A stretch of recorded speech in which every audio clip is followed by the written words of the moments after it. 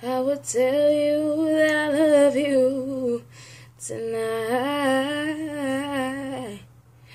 But I know that I've got time on my side. Where you going? Why you leaving so soon? Is it somewhere else that's better for you? What is? If you're not here with me, what is love? If it's not guaranteed, what is love? When it just stops and leaves.